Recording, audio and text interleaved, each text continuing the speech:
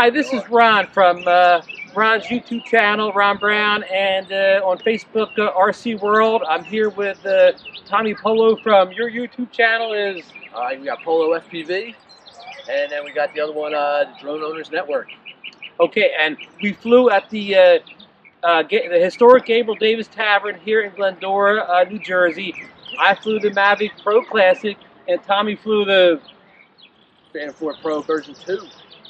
So we had great flights. Stay tuned for the footage that will be posted on YouTube shortly, and uh, we'll see you the next video together.